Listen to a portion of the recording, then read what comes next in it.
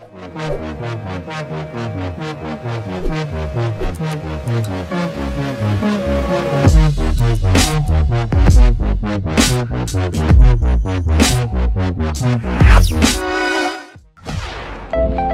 Megan, how are you doing today? Good. Good. Hey, we're gonna jump out of a plane together. Will this be your first time? Yes. Awesome. How are you feeling about this? I'm excited.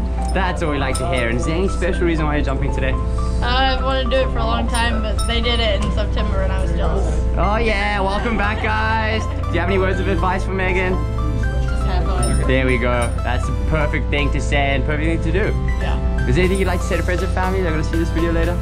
Hope I see you again. Yes, you will. yes, you will. And you're gonna be bringing them a sweet video and some pictures. Let's have a great time, Megan. You.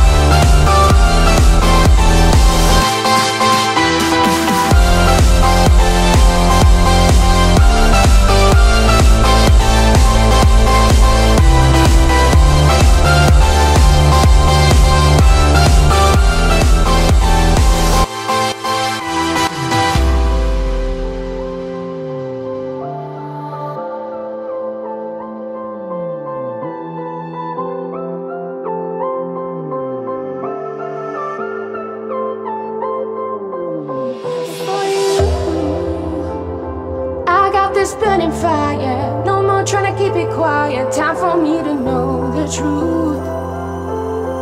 Tell me what's inside your head. I don't know if I should be scared. I'm in so deep, I just want the proof.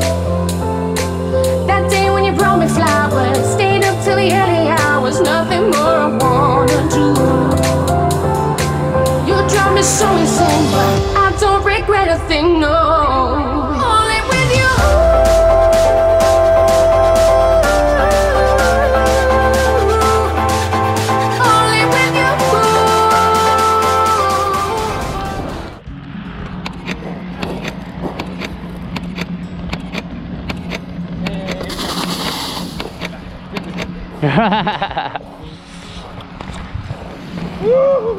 yeah, Megan, All right, Megan. you did it.